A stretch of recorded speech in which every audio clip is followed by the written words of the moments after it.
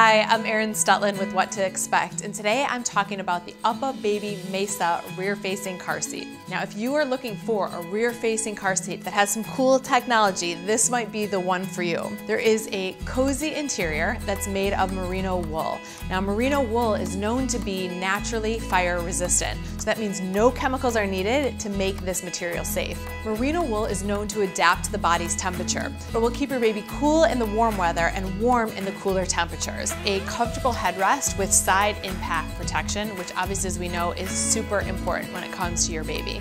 Let's talk about installation because that's so important when it comes to car seats. What's so great about this car seat is that there is a little indicator on the base that will tell you when it is installed correctly. Green means go, red means stop. The feel of this material is super soft and as you can see it has a really beautiful, sleek and modern design.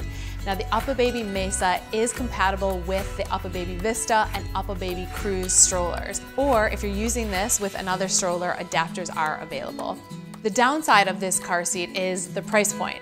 At $300, it's definitely on the high end of the car seats.